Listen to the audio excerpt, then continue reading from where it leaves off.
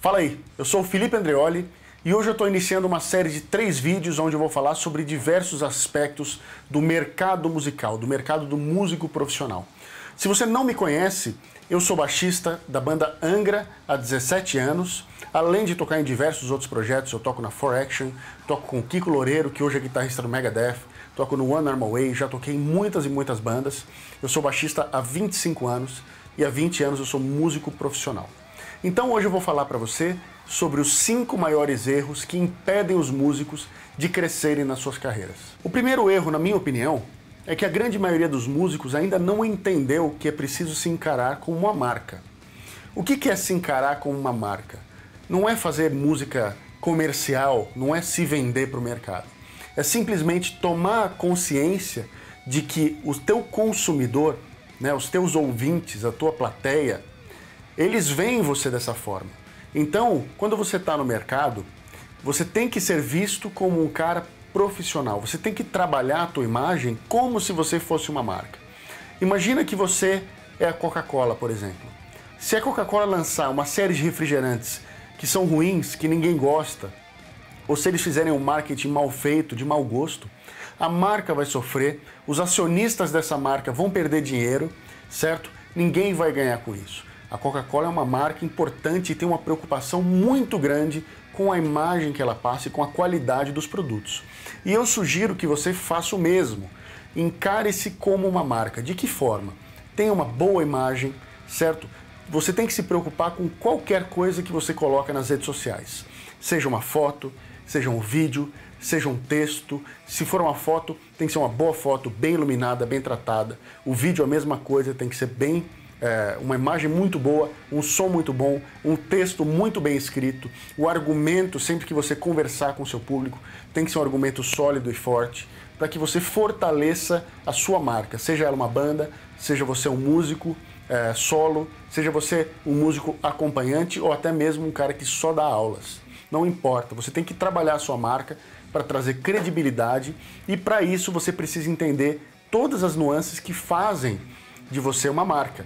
E aí a melhor maneira de você entender isso é estudando sobre marketing, aprendendo sobre marketing, que é a arte de vender, é a arte de transformar uma ideia em renda, né? Transformar isso em alguma coisa que você vai fazer da sua vida um veículo para vender essa arte no bom sentido, ou seja, ter retorno dessa arte. Então, super importante. Um segundo erro muito comum na vida dos músicos, infelizmente, é que a grande maioria deles não tem nenhum planejamento não tem objetivos claros. Isso leva a diversos problemas. Quando você não tem um planejamento e não tem um objetivo, você meio que vai navegando meio sem direção.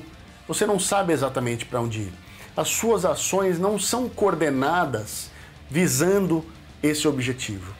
E aí elas podem ser completamente ineficazes. Se você faz um monte de coisas na sua vida e gasta um tempão, mas você não está indo a lugar nenhum, é o mesmo que você está parado, né? Então eu vejo muitos músicos que tem uma banda, que tem um trabalho aqui, mas ele vai lançando um videozinho de vez em quando, ou ele faz uns shows de cover ali, e aí ele né, não tem nenhuma relação entre as ações que ele faz, ele simplesmente vai lançando as coisas ao vento, e tudo bem, né? Muitos músicos sobrevivem dessa forma. Mas se você quer se destacar, se você quer chegar longe, então é hora de mudar essa mentalidade e começar a pensar em qual é o seu objetivo, o que, que eu quero. Se o seu objetivo é ser como o Steve Vai, ter uma carreira solo, ser um guitarrista reconhecido, um cara genial, que as pessoas veem né, com, com essa aura de genialidade, etc., além do estudo, da preparação e do talento que está envolvido, e isso aí em maior ou menor grau, o Steve Vai é só um exemplo, mas tem vários outros, né? Você precisa entender o que, que o Steve Vai fez para chegar onde ele chegou. Quais são os atributos?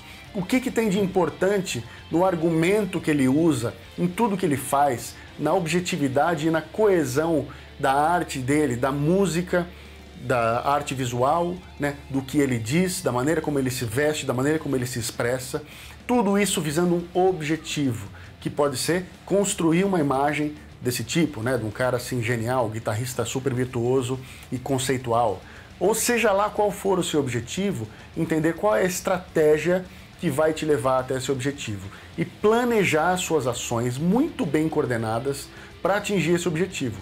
E muita gente não faz isso, a grande maioria. Então, se você fizer, você vai dar um grande passo à frente dos demais.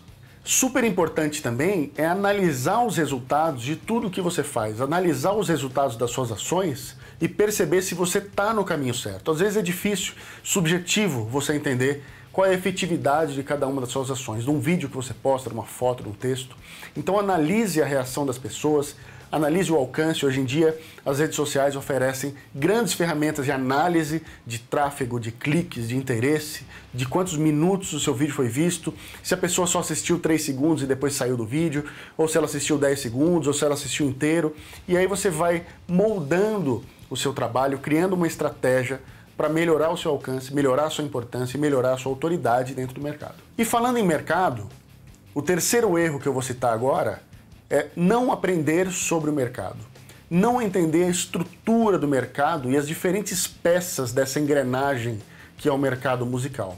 Não entender, por exemplo, como funcionam as gravadoras, editoras, os estúdios, as fábricas de instrumento musical, as importadoras, os profissionais empresários, a mídia, né, não entender o trabalho dos técnicos, dos produtores e como tudo isso, né, todas essas e muitas outras partes da indústria musical, como elas se interconectam, como elas funcionam e qual é o seu papel dentro desse mercado. Se você não sabe como é o funcionamento do teu mercado, como é que você vai poder achar o seu lugar nesse mercado e aumentar o seu alcance, aumentar a sua importância. Então, o mesmo estudo que você dedica para o seu instrumento, para a tua arte, você deve dedicar a entender quem são os players, né? Quem são as pessoas desse mercado, as empresas, os profissionais e criar um relacionamento desse mercado. E aí vai ficar muito mais claro para você não só como agir, mas como se projetar para crescer dentro desse mercado, fazendo ações coordenadas entre todas essas partes. Uma carreira bem-sucedida passa quase que necessariamente por todos esses passos. Se você nem conhece, nem sabe quais são esses passos, significa que você está muito longe de ter uma carreira que vai realmente alcançar um número grande de pessoas. Então, pesquise, conheça, se interesse, porque o mercado é aonde nós vivemos, querendo ou não. Esse quarto erro que eu vou citar é muito comum em bandas, e eu que já passei por diversas e diversas e diversas bandas, já vivi muito esse problema e aprendi a lidar com ele, que é a mentalidade do deixa que eu deixo. Normalmente quando a gente tem uma banda, existem ali um número de pessoas e existe normalmente também uma hierarquia dentro dessa banda. É claro que existem casos onde você montou aquela banda com os teus colegas de escola, teus colegas de infância, e aí é todo mundo que tem meio que peso igual. Outras vezes você tem lá um músico que está mais tempo na banda e ele tem uma hierarquia maior que você na banda, e tudo bem, isso é normal também, super comum. O que, que acontece? Você tem numa banda, numa banda que está trabalhando, que está visando um objetivo, né, que está trabalhando por esse objetivo, uma série de tarefas que os membros precisam cumprir desde as mais simples, como fazer uma postagem no Instagram, até as mais complicadas, como fazer a contabilidade de um show, como planejar a gravação de um disco, como planejar uma turnê e etc. Ou até fazer uma arte para um trabalho X, etc, etc. E é comum que as pessoas deleguem essas funções para diferentes membros dessa banda de acordo com as qualidades e com as habilidades individuais de cada um. E o que acontece? É muito comum para o músico procrastinar, ou seja, deixar para depois o trabalho que ele poderia e deveria fazer agora, né? E o que acontece quando a pessoa procrastina? Ela pode é, irradiar essa procrastinação para os demais, ela pode contaminar eles com essa mentalidade. Ó, bom, já que o fulano não fez, então também não vou fazer. Bom, se ele não chega no horário, por que, que eu tenho que chegar? Se o fulano não tirou a música, por que, que eu vou tirar? E esse é um dos maiores erros que você pode cometer, por um simples motivo você não pode se basear nos erros dos outros para mudar a sua conduta. A sua conduta tem que ser a melhor possível, independente das ações dos outros. Então, se todo mundo chega atrasado, chegue no horário. Se ninguém tirou a música, tire a música. Se ninguém fez a tarefa combinada, faça. E se puder, faça a do outro. E faça de todos se você conseguir. Por quê? Porque não só você vai ganhar experiência, você vai passar uma imagem profissional que todo mundo que tiver em volta, inclusive os seus colegas de banda, vão reconhecer. Fala, pô, esse cara é dedicado, ele é realmente profissional. E você vai adquirir uma série de habilidades fazendo isso que vão te transformar num cara mais posicionado para ser um líder. Porque o líder, ele é esse cara que toma frente, que toma né, atitude, é o cara proativo, é o cara que leva o negócio para frente, que puxa os demais. Então não se deixe contaminar pelas atitudes de preguiça, de deixa para depois, do deixa que eu deixo, né? Seja o cara que mete a mão na massa, que faz acontecer e você vai ser recompensado por isso, direta e indiretamente. E esse quinto erro é, na minha opinião, uma coisa mais conceitual, mas uma coisa super importante. Leve em consideração a quantidade de músicos que existem na sua cidade. Agora pensa no seu estado. Agora pensa no teu país. Agora no seu continente. Pensa no mundo todo, a quantidade de músicos que tocam exatamente o seu instrumento e que tocam exatamente o seu estilo. As pessoas hoje em dia têm um tempo super limitado para dedicar a ouvir música, a consumir música. Como é que você vai fazer para atingir o interesse dessas pessoas mais do que um cara que faz a mesma coisa que você faz, seja qual for o instrumento que você toca, não importa, na China, ou na Alemanha, ou no Canadá? Como você vai se destacar? Como você vai roubar 15 minutos do dia dessa pessoa para ver o que você está fazendo para ouvir tua música?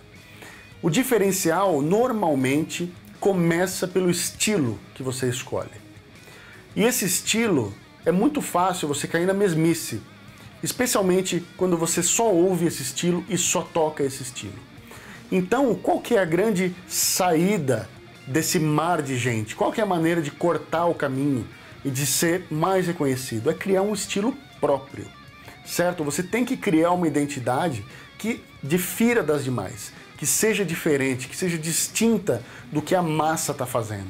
Você tem que trabalhar tanto quanto no seu instrumento, seja ele qual for, você tem que trabalhar num estilo único, num diferencial. Por que, que a pessoa vai assistir o músico A, B ou C ou eu? O que, que eu trago de diferente que pode é, incentivar uma pessoa que está assistindo meu material a compartilhar ele e não o dos outros?